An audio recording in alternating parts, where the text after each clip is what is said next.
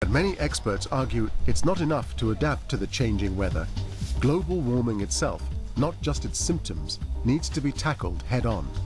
To reduce the heat island effect, we need green buildings, rooftop gardens, tree-lined streets, open space, walking paths, biking lanes, smart growth, and public transport.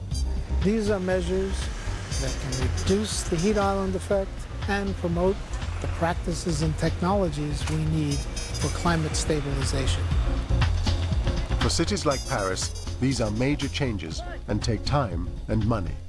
Still, growing numbers like Patrick Pelloux are not willing to wait. He lost his job in a Paris hospital for being too outspoken. It's not something he regrets. Je suis très mobilisé parce que je crois vraiment que cette catastrophe qui est arrivée dans l'un des pays les plus riches de la planète euh, n'est rien comparé à ce qui nous attend avec le réchauffement climatique. Ce qui veut dire que si un pays riche comme la France n'est pas capable de donner un exemple euh, d'adaptation, de moyens pour euh, protéger sa population en cas de catastrophe, ça voudra dire quoi dans les pays qui ont des économies nulles ou des systèmes sanitaires qui sont catastrophiques? Thousands of miles away across the Atlantic, Chicago, in America's Midwest, seems to be one of the cities taking the lead in tackling climate change. Famous these days for being the hometown of President Barack Obama, the third largest city in the United States is carving out an unlikely new reputation as a leader in the fight back against climate change. And this is how the city is doing it. Green roofs. It is being transformed into a skyline of gardens like this, which absorb less sunshine and heat, and as a result, use less energy to keep cool. There are already 7 million square feet of green roofs in Chicago, more than any other city in the United States. And this is just the beginning. I hope someday to see every roof here in the downtown area all green. Longtime Mayor Richard Daley was inspired to build Chicago's first green roof on top of his City Hall office after a visit to Germany in the late 1990s, where he saw how Europe was beginning to adapt to climate change.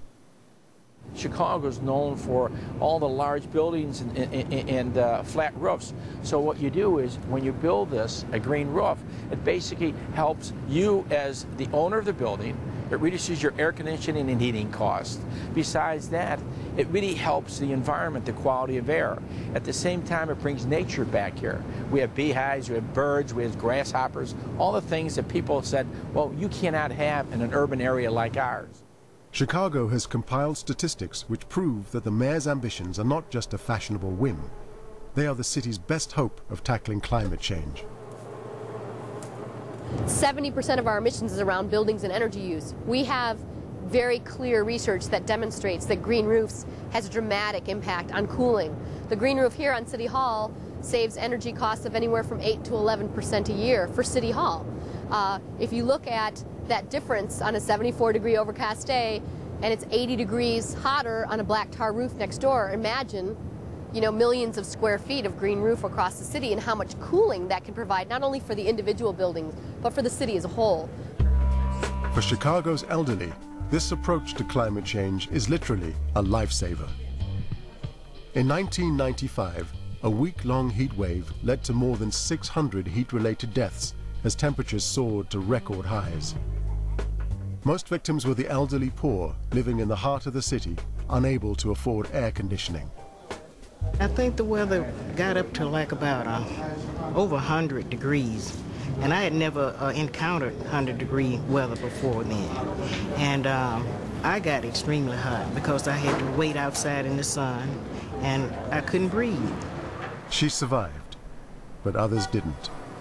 My friend lost her life. She was a, a friend that go to my church. She lost her life because uh, she didn't have air conditioning and she had no fan. And when we got to her house, um, they found that, that she was no longer with us. I had no idea that anything like that could happen. In the wake of the heat wave, the city put into place a sophisticated monitoring and heat wave response system. At its heart, a program to contact 30,000 registered people like Lucille to warn them of imminent temperature rise. Its nerve center, the round-the-clock incidents room at the city's Office of Emergency Management and Communication. Instead of people calling into the emergency phone number, what this does is actually the emergency number dials out and we can contact tens of thousands of people at a time and alert them to something specific. In the case of a heat emergency, the mayor may record a message telling them that we're expecting this kind of weather, telling them the services the city provides to care for people in that time, and other indicators to take care of themselves. But Chicago has even bolder goals. By 2020, the city is aiming to reduce its CO2 emissions by 25% below its 1990 level. And it's working from the ground up, literally.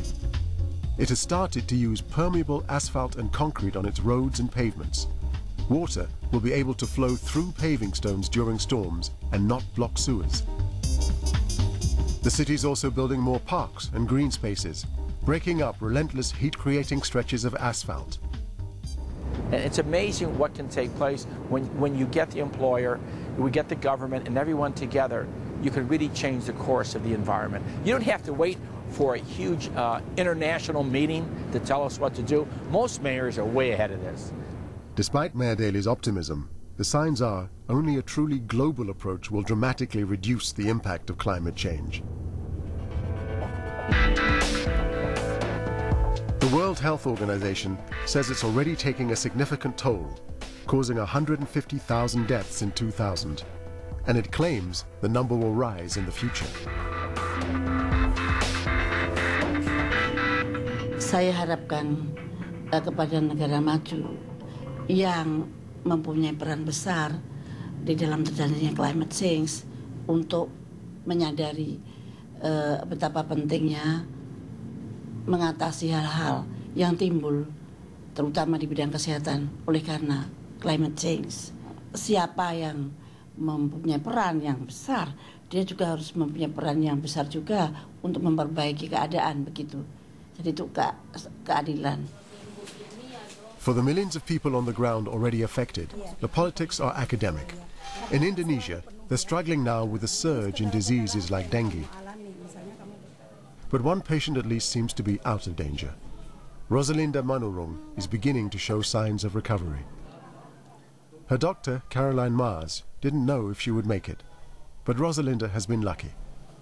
Sampai dengan saat ini kami merawat Rosalinda dalam kondisi yang semakin membaik dan kami melihat dari tanda-tanda hasil dari laboratorium dan uh, terjadi peningkatan daripada trombosit dan uh, juga tanda-tanda uh, daripada gejala-gejala panas dan mual-mual muntah itu sudah tidak ada lagi dan tentunya kami harapkan kondisi semakin membaik dan kemungkinan besok uh, kalau keadaan membaik Rosalinda bisa pulang kembali.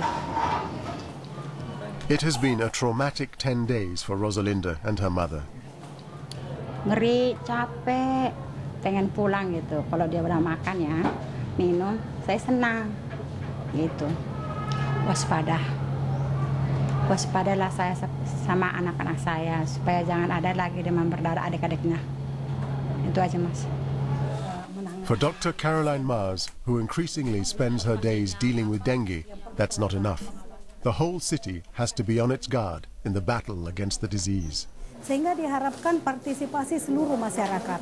Partisipasi seluruh masyarakat untuk memperhatikan dan sama-sama uh, kita care untuk penyakit uh, demam berdarah ini.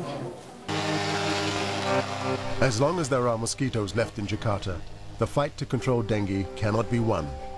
For the experts, that means just one solution. Kalau nyamuknya dihilangkan, dimatikan nyamuk dewasanya, maka mereka-mereka yang sakit ini kemudian eh, tidak ada lagi nyamuk yang menularkan virus yang dari badannya ke, ke tempat orang lain gitu.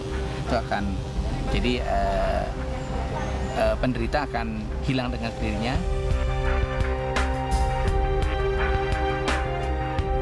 In Jakarta, they are just facing up to the fight back against climate change and the growing threat of disease. Similar battles are already being fought in other cities around the world, as infectious disease, flooding and heat waves extend their grip over the millions of people who live in them.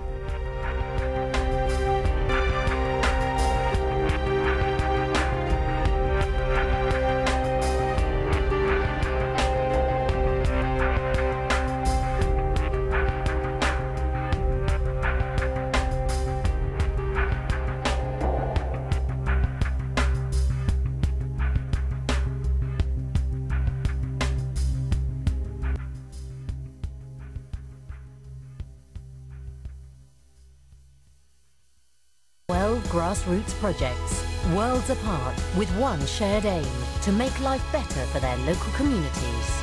Your vote really can have an impact. To vote, go to theworldchallenge.co.uk. Back for its fifth inspirational year, World Challenge 2009, in association with Shell.